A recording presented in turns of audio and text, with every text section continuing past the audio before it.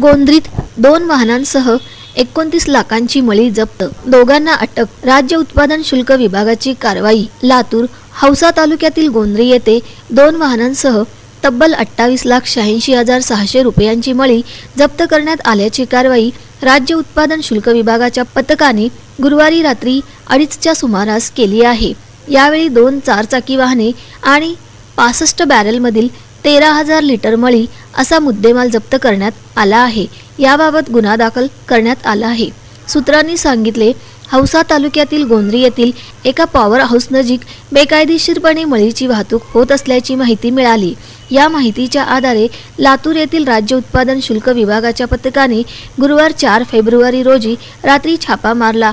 यावेळी मळीची वाहतूक करताना दोन टेम्पो आढळून आले. दरम्यान यावेळी मशाक दस्तगीर नदाफ आणि अल्ताफ नदाफ या दोघांना अटक करण्यात आले आहे. त्यांच्या विरोधात महाराष्ट्र दारूबंदी कायदा एकोणीसशे एकोणपन्नासच्या कलम पासष्ट ड नुसार गुन्हा दाखल करण्यात आला आहे.